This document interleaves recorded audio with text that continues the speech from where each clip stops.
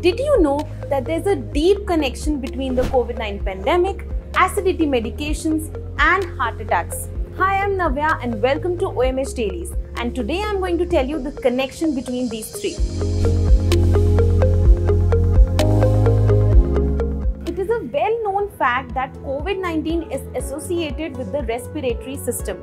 However, Complications like heart strokes are also very common in severe COVID 19 patients. Since the beginning of the pandemic, researchers have been studying the link between COVID 19 and vascular diseases. Many studies have shown that people with severe COVID 19 are at the risk of strokes, blood clots, and other vascular complications. However, researchers believe it's not the coronavirus that is causing vascular diseases. It is, in fact, the immune system that attacks infected respiratory cells.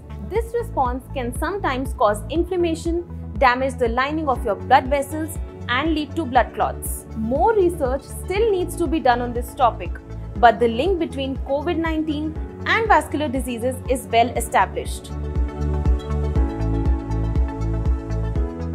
Since the beginning of the pandemic, complications related to heart disease have increased quite significantly and the latest report by BMC is the proof of it. According to the report, Mumbai witnessed a six fold rise in deaths caused due to heart attacks in the first six months of 2021 compared to the previous years. Between January and June 2021, about 3,000 people succumbed to heart attacks every month in the city compared to 500 in 2020. Talking about the year 2019, a total of 5,849 succumbed to heart attacks. The city saw a drop of 3.6 in the year 2020 and 5,633 patients lost their lives to heart attacks. But in the first six months of 2021, the deadly medical emergency came back with full force as the city witnessed a surge of 217% over the previous year. The head of the COVID Death Review Committee, Dr. Avinash Supe, says that the possibility of development of thrombosis, which occurs when blood clots block veins or arteries, along with delay in diagnosis of patients during the pandemic and better recording of data, could be the three major reasons for the surge in deaths related to a heart attack.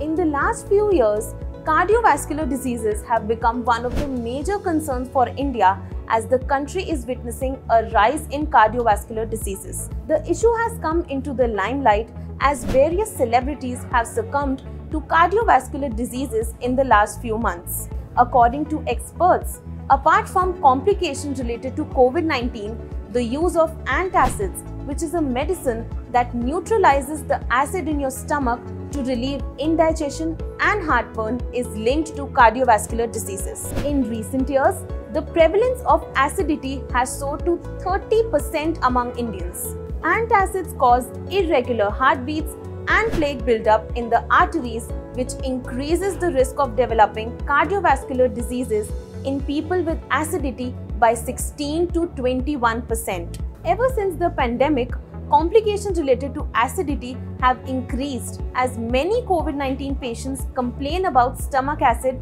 and heartburn. Therefore, there is an increase in the over the counter offtake of antacids. Antacids are generally safe when taken in the recommended dosages, but they may have adverse side effects if used excessively without proper doctor guidance. That's it for today.